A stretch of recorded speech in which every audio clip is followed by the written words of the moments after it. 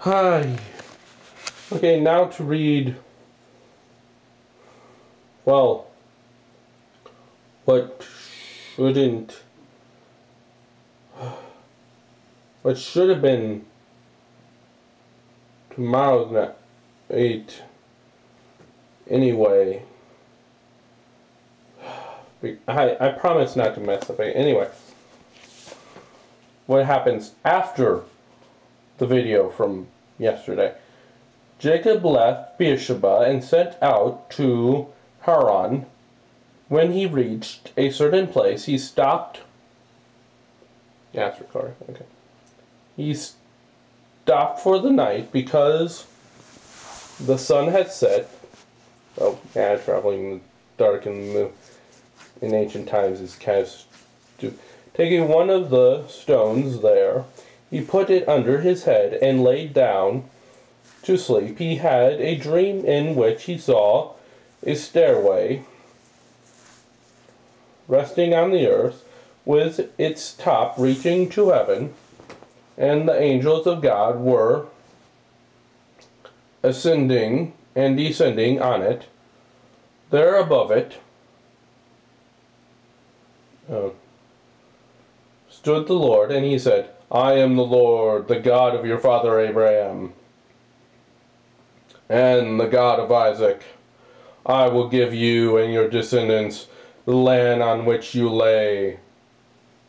Your descendants will be like to the dust of the earth, and you will spread out to the west and to the east, to the north and to the south. All peoples on earth will be blessed through you and your offspring. I am with you and will watch over you whenever, no, wherever you go, and I will bring you back to this land. I will not leave you until I have done what I have promised you. When Jacob awoke from his sleep, he thought, Surely the Lord is in this place. I will not. No. Surely the Lord was. No. When Jacob awoke he, from, from his sleep, he thought, Surely the Lord is in this place, and I was not aware of it technically he's everywhere, Jacob. So, anyway, he was afraid and said, How awesome is this place! This is none other than the house of God. This is the gate to heaven. I guess is special though. You know, debate if you feel like in the comments with.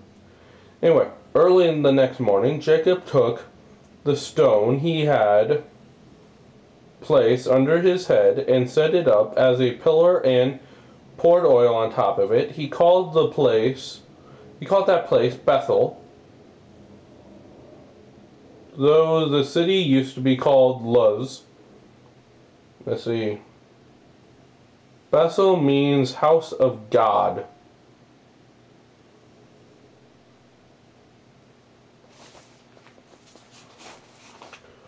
Oh, little town of Bethlehem?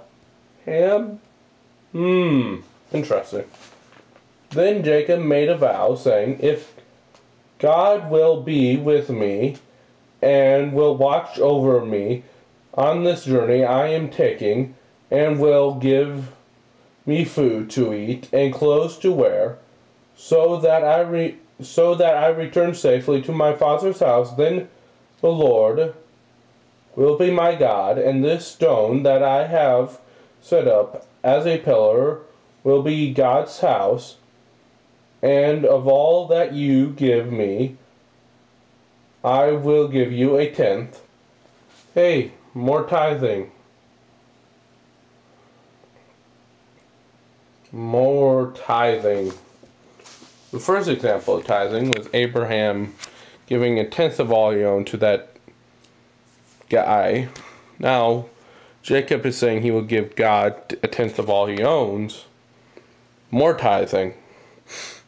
Before tithing was a thing. If you don't know what tithing is, it's the idea of living on 99 living on 90% of your income and giving away a tenth. Or if you really want to be extreme, live on a tenth of your income and give 90% of it away. But that's not needed though. Anyway.